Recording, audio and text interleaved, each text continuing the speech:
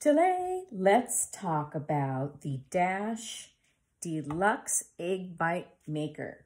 I primarily use this for things other than eggs, but you can do that.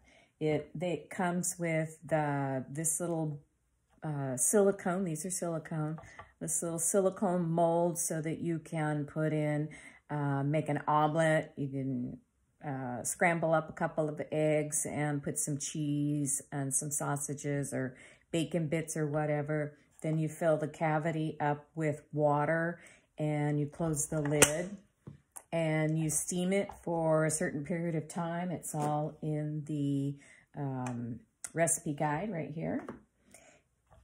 That also comes in, you know, those famous egg bites from that really famous company. So you can make your own egg bites right there. Fill it with uh, things that you like to eat. And you don't have to pay, what, $15 for them? Come on.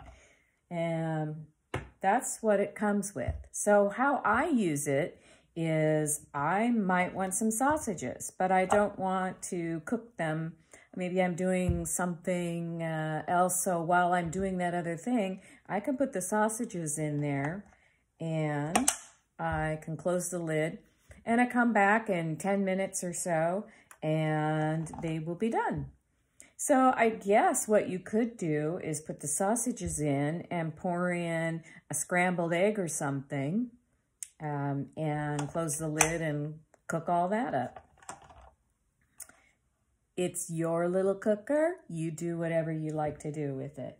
If you shop at the big box stores and get the little pizzas, this thing actually cooks the pizzas quite well. Once again, I love the um, the just put it in, walk away, do what you want to do. I mean, you still have to think about um, smelling and seeing if there's a burning going on because there is no timer on here. It's just hot all the time. So once you plug it in, this light comes on. I don't have it plugged in right now, but this light comes on and that means that both plates, top and bottom, will start to heat. So it does make it into a little oven and it cooks, it melts the cheese fine and the bottom gets uh, nice and crusty as well. Now, I haven't tried this, but it does fit. This is a pre-cooked frozen hamburger. And it fits in here. You could probably put some cheese on the top, but I'd wait until it's a little thawed. Um, like I said, I haven't tried this one yet, but the frozen, these are frozen sausages, and they cook in about 10 minutes. It'll probably take you a little bit longer to cook the frozen patty because it's thicker.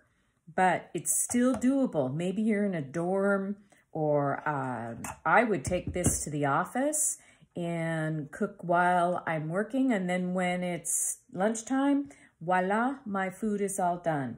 I, I think it's a really handy little cooker and I'm very excited about it. So I hope that you will take a look at the description below where you'll find an affiliate link and that you will give it a try. Thank you.